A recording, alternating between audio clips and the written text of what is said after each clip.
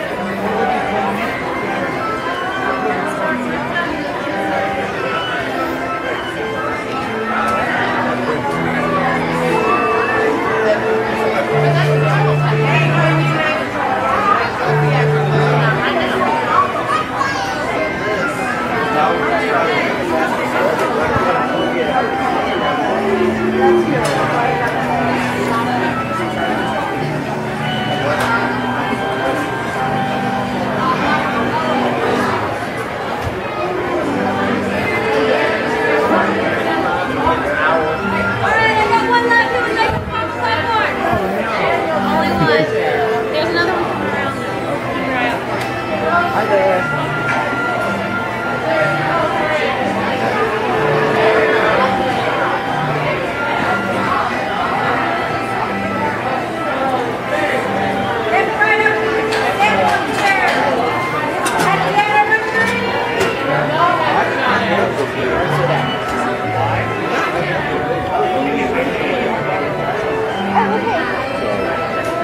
We just can't make it happen without